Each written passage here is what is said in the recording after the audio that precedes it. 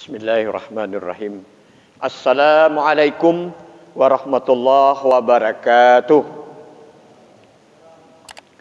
الحمد لله رب العالمين وبه نستعين على أمور الدنيا والدين والصلاة والسلام على أشرف الأنبياء والمرسلين سيدنا محمد وعلى آله وأصحابه ومن تبعهم بإحسان إلى يوم الدين أما بعد الحمد لله wa syukurillah atas segala nikmat yang Allah kurniakan kepada kita semua. Salawat beserta salam atas junjungan kita Nabi besar Muhammad sallallahu alaihi wasallam. Dengan mengucapkan bersama-sama Allahumma salli ala Sayyidina Muhammad wa ala ali Sayyidina Muhammad. Hadirin yang mereka Allah Subhanahu wa taala, pengajian kita tentang ekonomi syariah, pembahasan kita pada siang hari ini berkenaan tentang hak milik dalam Islam. Hadirin Subhanahu wa taala, pada hakikatnya semuanya adalah milik Allah. Tidak ada yang punya kita. Semuanya milik Allah Subhanahu wa taala. Apa saja yang kita miliki sekarang ini semuanya adalah titipan ataupun amanah dari Allah. Anak istri merupakan amanah ataupun titipan dari Allah Subhanahu wa taala. Harta kekayaan kita titipan dari Allah. Rumah, mobil, kebun dan segala macam kekayaan semuanya adalah titipan semuanya adalah hak pakai. Tidak ada sebenarnya hak milik di dalam Islam itu secara hakikat. Ya. Kalau bicara secara syariat itu diakui di dalam Al-Qur'an. Ada kepemilikan manusia terhadap barang yang dimilikinya. Kalau dalam Al-Qur'an juga ada disebutkan secara hakikat walillahi mulkus samawati wal ard. Dan segalanya milik Allah sebagai penguasa langit dan bumi. Ada juga ayat yang lain walillahi mulkus samawati wal ard. Dan bagi Allah lah segala kerajaannya di langit dan di bumi. Hadirin subhanahu wa taala. Di dalam Al-Qur'an Allah sebutkan dalam surat Al-Hadid Allah berfirman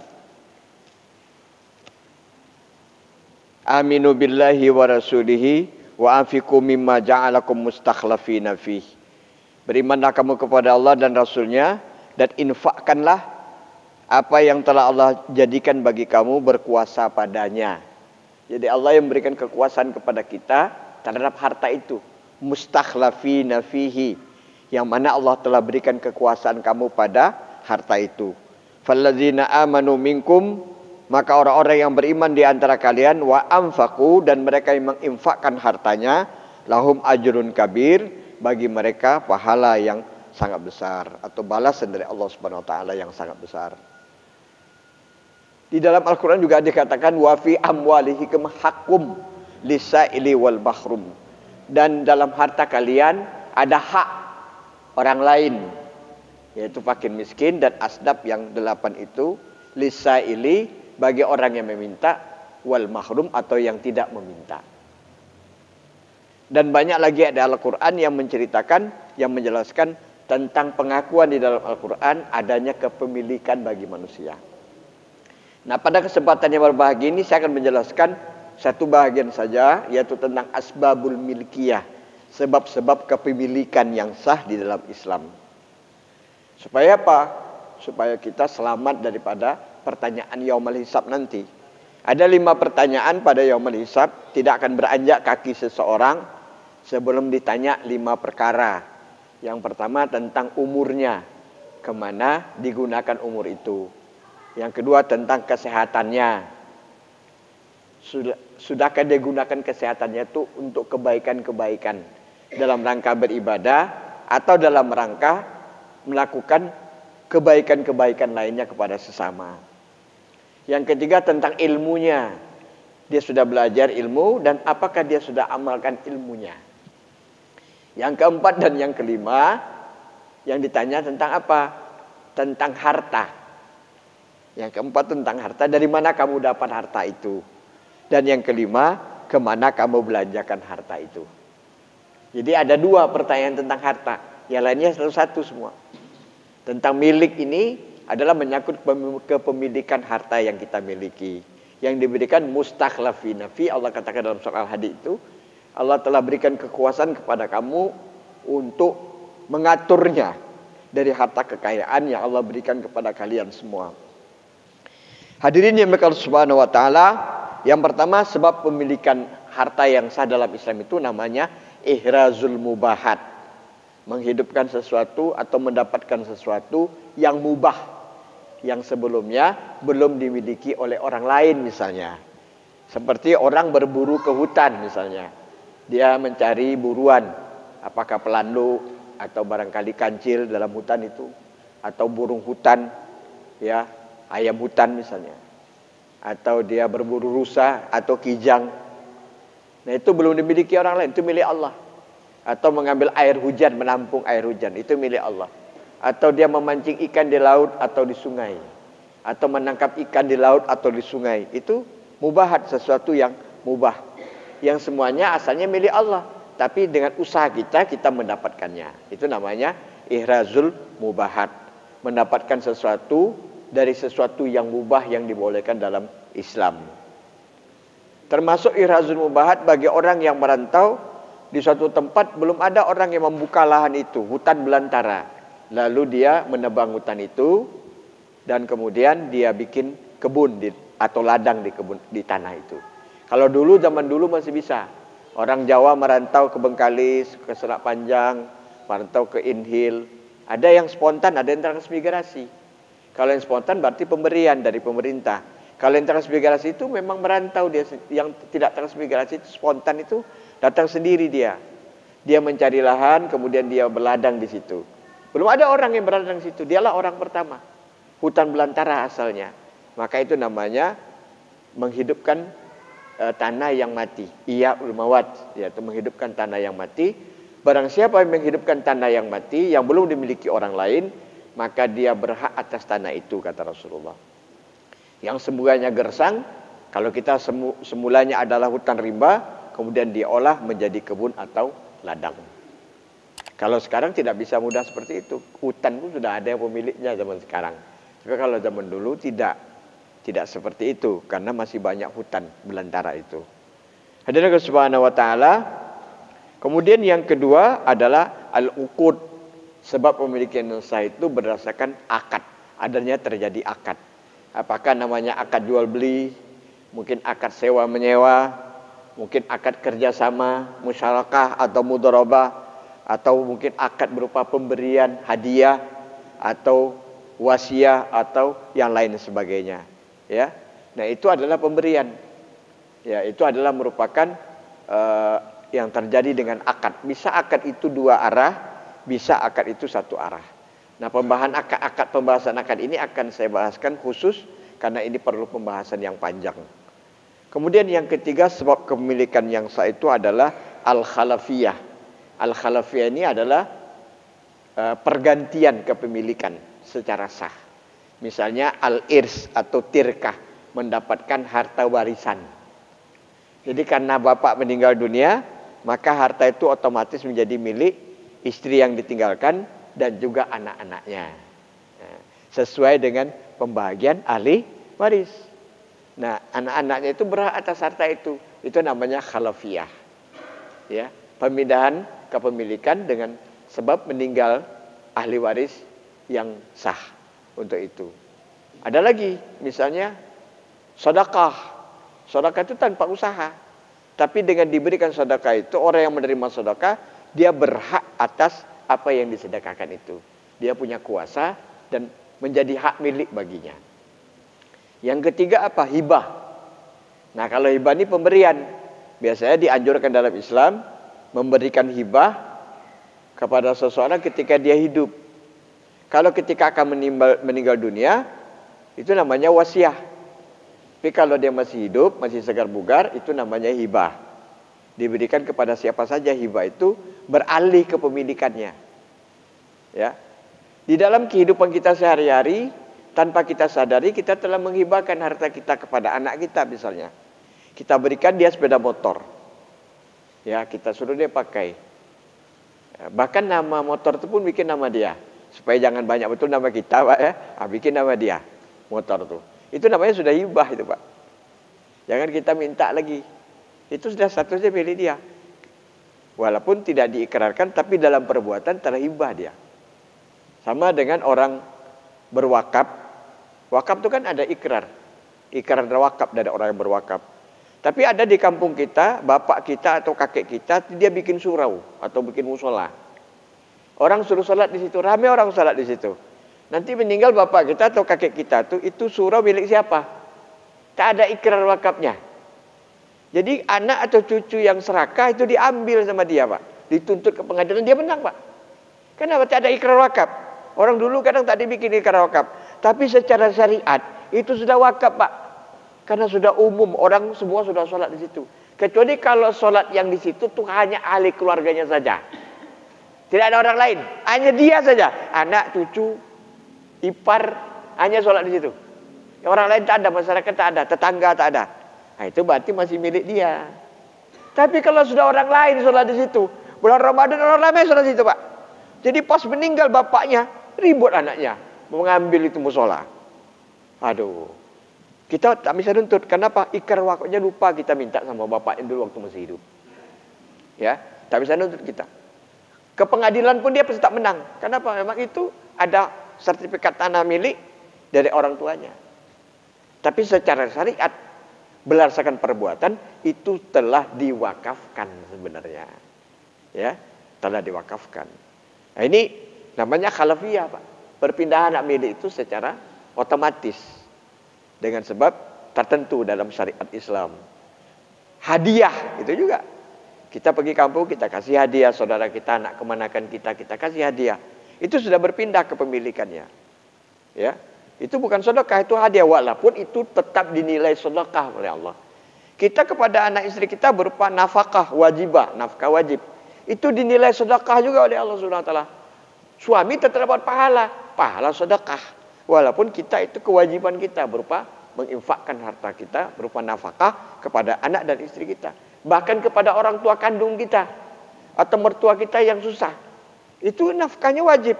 Kalau dia tidak mampu, kita wajib memberikannya. Tapi orang tua kita yang mampu tidak wajib. Tapi kita memberikan sifatnya sunat dianjurkan dalam Islam. Karena orang tua itu walaupun dia mampu, dia juga senang hatinya menerima pemberian dari anaknya. Itu harus kita ingat. Kita besok sudah jadi orang tua pun anak-anak kita memberikan sesuatu kita merasa bangga, senang kita. Walaupun kita mampu sebenarnya. Tidak dikasih tidak apa-apa juga. Tapi itulah kebanggaan orang tua. Karena anaknya itulah bukti dia memperhatikan orang tuanya. Sebenarnya itu. Nilai perhatiannya itu yang dinilai oleh orang tuanya. Yang menjadikan orang tuanya merasa tersanjung dia. Kemudian juga bisa juga berupa kafarat. Orang membayar sumpah palsu misalnya. Sumpah yang dibatalkannya. Sumpah yang dibatalkannya itu dia berjanji begini-begini, kemudian dia batalkan. Dia demi Allah, saya tidak akan datang ke rumah kamu lagi selamanya. Rupanya dia datang. Dia sudah bilang demi Allah, bayar kafaratnya. Nah kafarat-kafarat ini termasuk dia melanggur, melakukan apa saja. Termasuk misalnya berhubungan dengan istri di siang Ramadan itu bayar kafarat juga. Ya melanggar sumpah, bayar kafaratnya juga. Nah kafarat-kafarat ini dipindahkan kepada seseorang berupa pemberian Misalnya memberi makan fakir miskin 60 orang, memberi pakaian fakir miskin 60 orang, memerdekakan hamba saya, itu bentuk-bentuk kafarat dalam Islam, itu juga berpindah ke pemilikannya. Ya. Kemudian ada lagi dia, dia itu denda. Denda terhadap perbuatan pidana yang dilakukan tidak sengaja. Jarimah, perbuatan jarimah atau perbuatan pidana yang dilakukan tidak sengaja. Misalnya pembunuhan secara tidak sengaja atau penganiayaan secara tidak sengaja. Dia menyiram air dari atas rumahnya di di apartemen misalnya. Airnya panas disiram. Rupanya kena orang di bawah. Dia rasa tak ada orang dibuang. Rupanya kena orang. Nah, luka dia. Itu bayar. Ya, bayar diahnya, dendanya. Ya, sebanyak berapa kerugian yang dialaminya. Ada lagi domanah. Domanah itu denda juga, yaitu terhadap harta kekayaan. Misalnya orang itu naik sepeda motor melanggar gerobak sate. Hancur itu gerobak. Dia perbuatan tak sengaja. Karena dia ngebut melanggar itu gerobak sate. Dia harus bayar itu Pak, ganti kerugian. Gerobak yang pecah diganti. Berapa satenya yang telah rusak itu diganti. Itu namanya domanah dalam Islam. Wajib dibayar. Sesuai dengan berapa kerugian yang orang itu derita satu hari itu. Dia nggak jadi jualan satu hari itu karena Sate-satenya udah jatuh-jatuh semua, udah rusak. Dia harus ganti semuanya. Kemudian gerobak satenya rusak, dia harus ganti. Itu namanya abdomana. Membayar ganti rugi terhadap kerugian dalam hal perdata. Kalau dia ganti rugi terhadap perbuatan pidana atau jarima yang dilakukan secara tidak sengaja. Itu dalam Islam. Mungkin banyak lagi yang lain seperti uh, daulah pemberian negara kepada seseorang. Misalnya masjid masjid kita mendapat bantuan dari negara. Itu khalafiah juga diberikan sifatnya diberikan. Ya. Itu hak sah dalam Islam yaitu pemberian. Kemudian yang terakhir tawalud minal mamluk. Tawalud minal ini turunan dari harta yang dimiliki. Misalnya ada orang punya tanah, di tanah itu mungkin sengaja, mungkin tidak sengaja tumbuh pokok matoa, tumbuh pokok yang lain-lain buah-buahan di situ, tumbuh dia. Kita tak boleh ambil kecuali kita mendapat izin dari yang punya tanah. Kenapa? Yang tumbuh di situ adalah hak yang memiliki tanah itu. Ini namanya tawalud minal mamluk namanya. Ya kalau kita masih anak-anak dulu kita nggak ngerti. Ada pokok jambu, kita ambil aja jambu orang itu. Itu masih anak-anak. Tapi kalau kita sudah dewasa tidak boleh. Kita main ambil aja. Ada pokok pisang tumbuh di tanah orang itu, diambil pisangnya. Itu nggak boleh. Kecuali kita mendapat izin dari yang punya tanah. Izin itu bisa waktu itu, bisa kemudian hari karena jumpa jarang-jarang. Kita kasih tahu. Itu boleh. Kenapa? karena dia tumbuh di tanah dari seseorang yang memiliki tanah itu. Kambing, anak kambing keluar dari kambing. Siapa memiliki anak kambing itu yang punya induk kambing. Itu namanya tawadud dan mamluk. Kalau di daerah-daerah itu banyak orang beternak sapi atau beternak kerbau. Itu tuannya tidak mengikatnya Pak. Tidak ada tali di hidungnya. Tidak ada tali di lehernya. Dilepas saja itu jawi sapi itu dan kerbau itu di hutan. Dia beranak pinak. Tapi jangan coba, itu tahu pemiliknya itu Pak. Ini punya siapa? Si Anu, punya bapak si Anu. Ini punya bapak si Anu, itu tahu masyarakat di situ. Dan kambingnya juga mengerti dia. Ini saya ini tuan saya ini, dia tahu. Domba-dombanya atau kambing apanya, sapi-sapinya, kerbaunya dia tahu. Nah, apa anak-anak dari kerbau atau sapi itu adalah milik dari pemilik sapi itu. Nah, jadi ini e, namanya tawalud minam mamluk. Dan sekarang itu dikembangkan. Apa saja yang keluar daripada itu. Termasuk kekayaan dalam tanah yang kita beli. Misalnya dalam tanah itu ada harta karun. Siapa pemiliknya? Yang punya tanah itu. Mungkin di tanah itu ada unsur mengandung emas. Atau mengandung besi. Yaitu siapa pemiliknya? Yang memiliki tanah itu. Kalau tanahnya itu miliknya ulayat, berarti miliknya ulayat. Milik bersama berarti ulayat tanah masyarakat tersebut. Itu kira-kira ada empat hal yang menjadi sebab pemilikan yang sah dalam Islam. Karena itu mari kita evaluasi diri kita sebelum kita mati. Harta kita ini bisa didapatkan secara sah atau tidak dalam Islam. Atau tidak. Kalau tidak kita kembalikan kepada yang berhak menerimanya. Supaya tidak menjadi permasalahan. Jangankan banyak tanah. Sejengkal tanah aja Pak menjadi susah kita di alam barzah selamanya Pak. Hati-hati kita, apalagi menyangkut tanah orang lain, menyangkut hak orang lain. Kita ini ahli ibadah. Tapi ibadah kita seberapa banyak pun Bapak dan Ibu tak cukup untuk menghadapi permasalahan alam barzah. Tapi kalau kita masalah muamalah kita, ekonomi kita sudah kita kelola secara islami, insya Allah Bapak selamat. Ya, muamalah Bapak diperbaiki dengan baik, insya Allah selamat. Kalau dosa kepada manusia, Allah tak ikut campur. Selagi dimaafkan, selesai urusannya. Tapi kalau dosa dengan Allah, berapapun banyaknya dosa bapak dan ibu, diampuni oleh Allah. Kalau kita minta ampun kepadanya. Jadi lebih gampang dosa kepada Allah daripada dosa kepada sesama manusia. Itu kita selesaikan muamalah kita Pak. Apa saja. Kita evaluasi, kita renung, bertafakur kita. Apa harta saya ini yang masih belum saya sempurnakan dengan baik. Oh ada hak orang lain berupa zakat, bayar. Zakat itu khalafiah juga termasuk. Dia berpindah kepemilikannya ya dengan sebab dialihkan kepada orang orang lain. Itu zakat, hak infak yang wajib yang kita keluarkan dari harta kekayaan kita. Kalau sedekah, hadiah, hibah itu wakaf itu sifatnya adalah sunat yang sangat dianjurkan supaya harta yang kita miliki diberkahi oleh Allah Subhanahu wa taala. Demikian saja apa yang dapat saya sampaikan semoga dapat kita amalkan dalam kehidupan kita. Kita tutup dengan doa kafara majelis. Subhanakallahumma wa bihamdika asyhadu an la ilaha illa anta astaghfiruka wa atubu ilaik. Wa Assalamualaikum warahmatullahi wabarakatuh.